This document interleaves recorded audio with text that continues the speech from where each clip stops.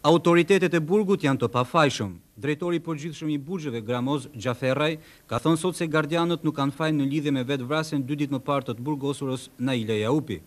Xhaferraj tha se kur të burgosurit kryejnë nevojat e tyre në banjo, gardianët nuk kanë të drejtë të rrinë pranë tyre. Këto masa janë të parashikuara dhe nga konventat ndërkombëtare. Kryegardiani shqiptar tha gjithashtu se ai megjithatë ka kërkuar sqarime të hollësishme nga autoritetet e burgut treqind e trembëdhjetë dhe nëse vërehen shkelje të rregullave sigurisht shtoi ai do të merren dhe masa.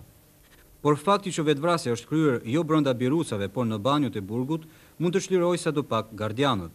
Kujtojmë që Naila Jaupi e burgosura e seksionit të femrave të burgut treqind e trembëdhjetë vetëm një muaj më parë ka qenë një nga personazhet e emisioneve speciale të TV Klanit.